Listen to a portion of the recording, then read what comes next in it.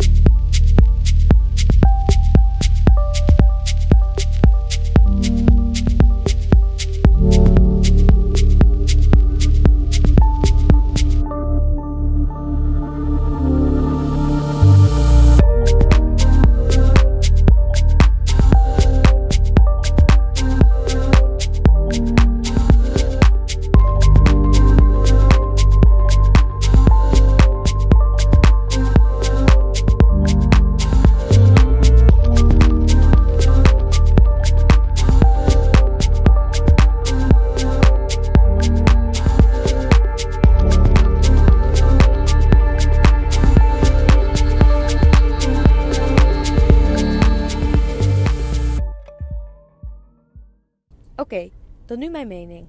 Laten we beginnen met dat de locatie uniek is op het Stadionplein in Amsterdam. Het is een relatief nieuwe hal, waardoor hij er erg mooi en schoon uitziet. Daarnaast is er ook nog een plek waar je kunt werken. De Bolderhal is een soort langwerpige tunnel met ongeveer 150 routes. Wat cool is, is dat bij twee plekken de muur hoger is dan bij andere hallen. Qua niveau had ik het gevoel dat het tot 6B iets makkelijker is en de rest is normaal. De routes waren leuk met een paar uitspringers. Dit was de video. Doei! Weet je wat het is met duotext? Je vertrouwt het gewoon niet. Dat je denkt van ja, ik kan hem elk moment want ik weet niet of het staat.